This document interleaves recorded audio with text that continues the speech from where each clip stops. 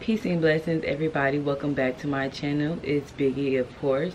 So today's video is just a small meditation video on what I like to do when I've been overwhelmed by the internet and I need to, well the internet, and I need to basically unwind and get some of that good ass prana and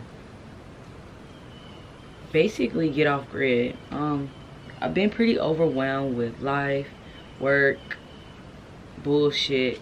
Personally, it's all bullshit. My bad, y'all. I've been overwhelmed with a lot of bullshit here lately. And retrograde has really been just taking a toll of my life.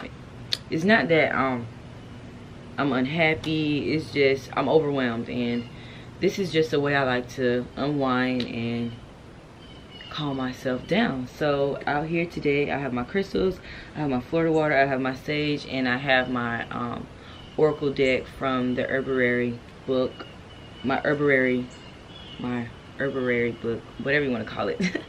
I almost said herbarary dictionary, but it's not an urban dictionary. It's an herbarary book, so it's like a herb dictionary. So, um, yeah stay tuned to enjoy this video. We're outside and on my porch right now because i didn't want to go to the park. Um, the park has a lot of snakes. As much as i love nature i do not love snakes because snakes don't love me. So that's why i'm here on my porch today. Um yeah so enjoy this video